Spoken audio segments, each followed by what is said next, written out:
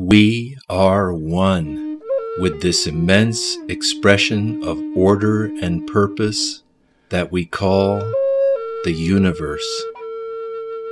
All of the seemingly separate parts of this creation desire to be in harmony with each other. This expression of universal harmony is called love. The phenomena we call music is part of the fabric of creation.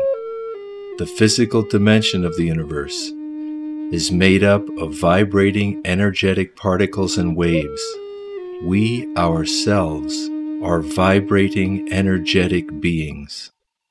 The waves of sound that we call music have a cleansing and healing quality.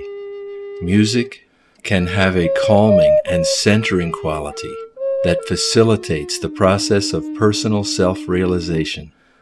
The highest form of self realization is to be a co creative extension of that power we call God.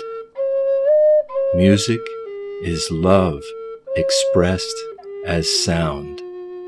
Music is a gossamer web of sound vibration expressing order, creativity, and uniqueness.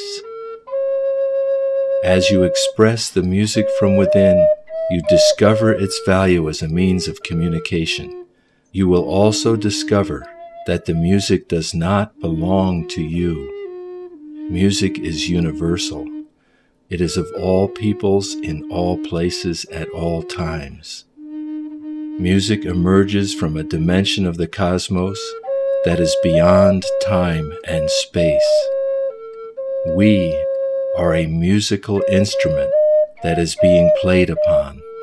We are being used to bring into existence the sounds of love. If you are feeling the call to make music, follow your spirit without hesitation. The music that comes through your flute will help to bring peace and harmony to you and those around you.